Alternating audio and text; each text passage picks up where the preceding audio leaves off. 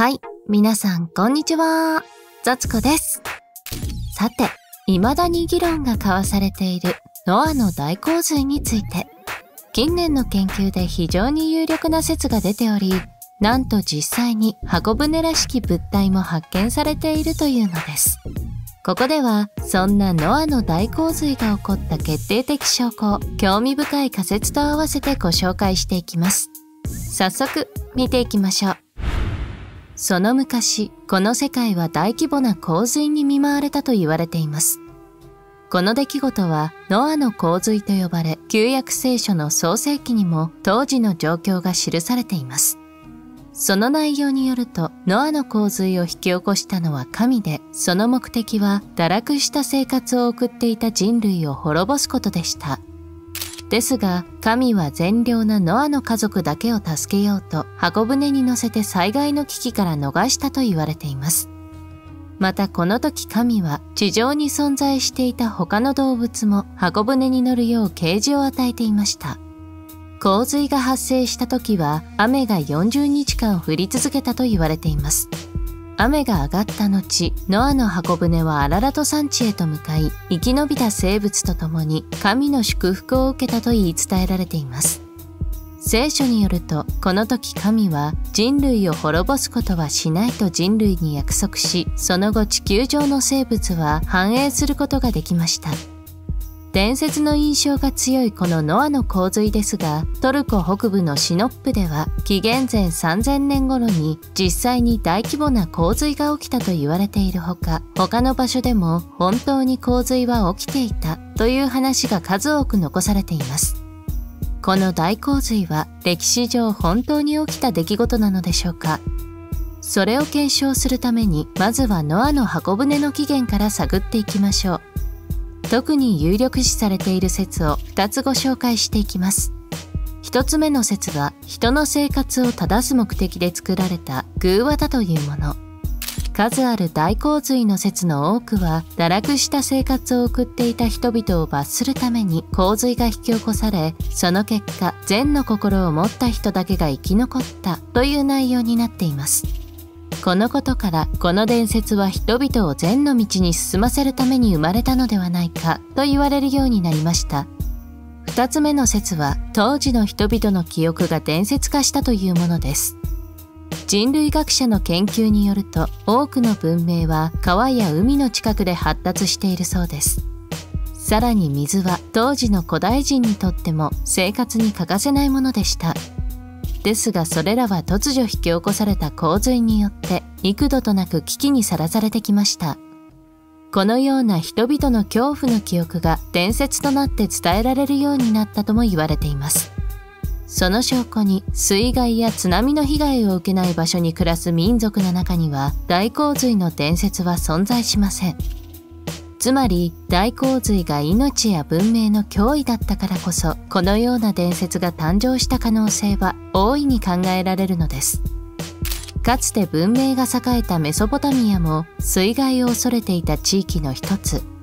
チグリス川では雪が溶けるとアナトリア山地で増水が発生し下流地域では大氾濫になったことがありました。当時下流地域にはシュメール人たちが住んでいて彼らにとってこの氾濫は最も避けたい自然災害だったはずです。そのような状況から大洪水の伝説が生み出されていったのではないでしょうか。考古学者であるマックス・マローワンとレオナード・ウーリーの二人は紀元前2900年に発生したユーフラテス川の大氾濫に注目。彼らはこの時の反乱が大洪水の伝説を誕生させ、そこからご紹介したような旧約聖書の創世記の話につながると考えました。さらに聖書学者のキャンベルとオブライエンの二人は、ヤハウェ資料と祭祀資料の記述が紀元前539年以降のものである点に注目し、創世記の大洪水の伝説はバビロニアの物語に由来すると考えています。これらの説は実際に起きた水害が飛躍して伝説化したものですが、その一方で地球全体に被害をもたらした大規模な洪水は実際に起きていたという説もあります。特に言われている説は次の通りです。大洪水以前は大量の地下水がありそれが地表にあふれて大洪水となった金星が地球に接近して大洪水が発生した氷水星が地球に衝突して大洪水が発生した。伝説の惑星ニビルが地球に接近して大洪水が発生した。この中のどれかが実際に地球上で起きていたのでしょうか。また地球規模で海面が上昇し大陸が水没したことで引き起こされた可能性も科学的に考えられるといいます。実際氷河期の終わり頃には地上にあった多くの氷河が溶け海水準の上昇は100メートルを超えていました。果たして洪水の伝説は実際に起きた洪水が元になっているのでしょうか。それとも過去に洪水や河川の氾濫によって文明や命の危機にさらされた民族の恐怖の記憶が大洪水の神話を作り出したのでしょうか。ここからはそんなノアの洪水のあらゆる説の中でも特に興味深いものをご紹介していきます。ノアの大洪水の真実とは？大昔に起きたと言われているノアの洪水。その真実は今も明らかになっていませんが、中には地球外のエネルギーが関係しているという説もあります。過去に臨死体験を経験し、過去と未来という時間の狭間や宇宙の起源を見たという木内鶴彦氏は、大洪水が起きたのは月の水が地球に降り注いだためと主張。彼が言うには大昔の巨大な彗星だった月は太陽の熱の影響で大量の水が発生しそれが地球に降り注いで大規模な洪水を引き起こしたといいます大洪水の後月は質量が少なくなって核の部分のみとなり地球の周りを回る天体になったそうですこの一連の現象が旧約聖書の創世記に記されているノアの箱舟の伝説や大洪水にまつわる数々の伝説につながったと彼は主張しています。さらに彼はそれを目撃した際星座の位置や新しくできたクレーターから月が誕生したと思われる年月を導き出しました。それによると大洪水が起きて月が誕生したのは今から約1万5000年前のことだといいます。興味深い説はまだあります。それは地球の水蒸気層で洪水が引き起こされたという説です。今とは違い大昔の地球は水蒸気層に覆われていました。水蒸気層とは人間の健康に影響を与え老化を進める害のある宇宙船を地球内に入れないバリアのようなもの。有害な宇宙船を防げていたためか当時の地球人はとても長生きだったと言われています。そんな大昔の地球の酸素濃度は30%ほど。現在は約20%なので本当だとするとかなり酸素濃度が高いことがわかります。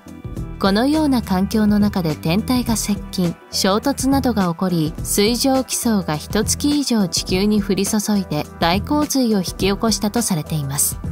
太陽光は私たち人類や植物動物など全ての生命体に必要なものですが一方で浴びすぎると体に害を与える可能性もあります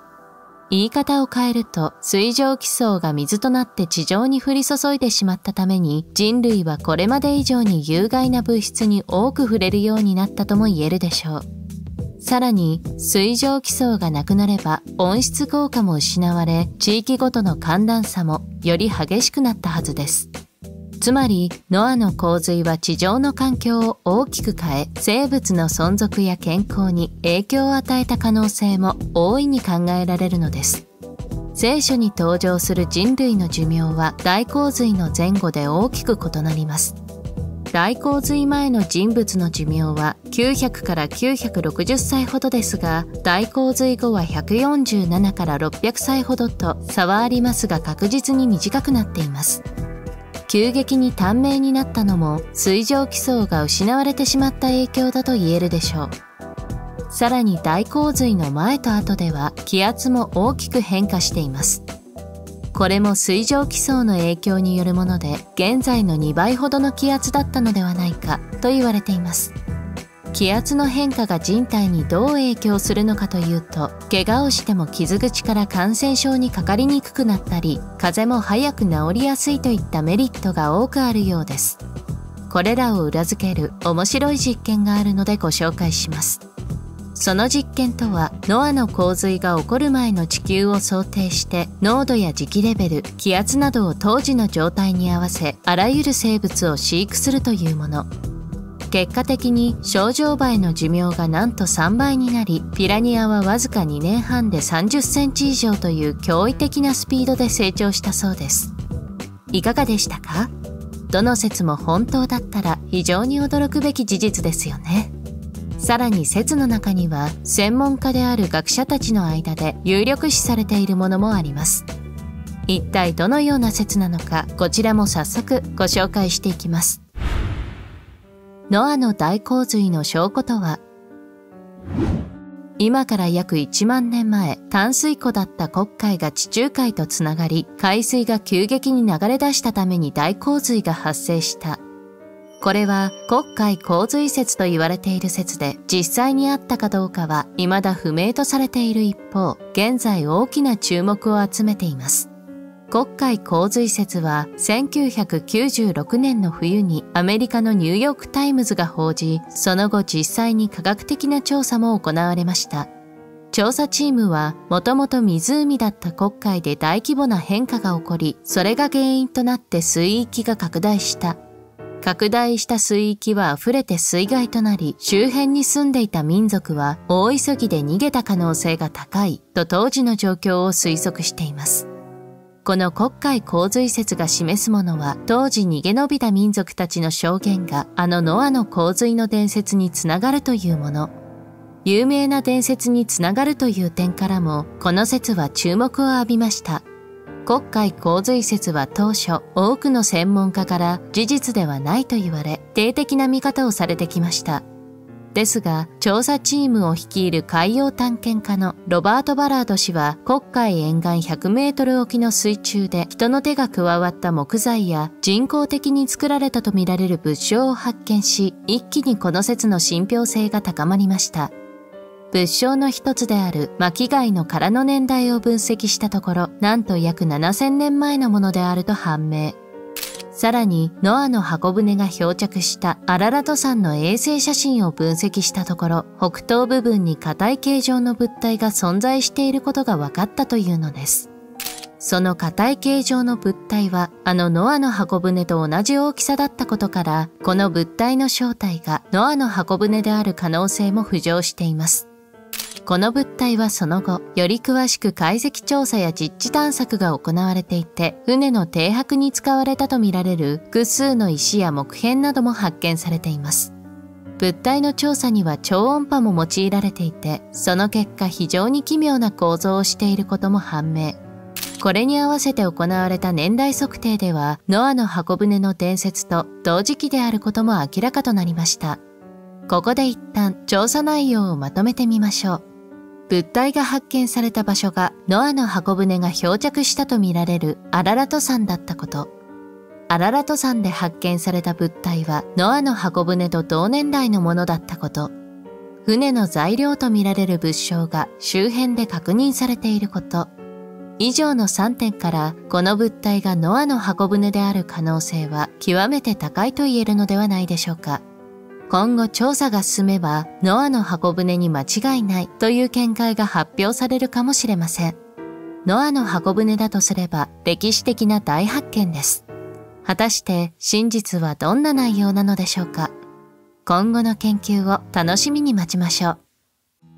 最後までご視聴ありがとうございました。ぜひグッドボタン、コメント、チャンネル登録などしていただけると幸いです。また見てね。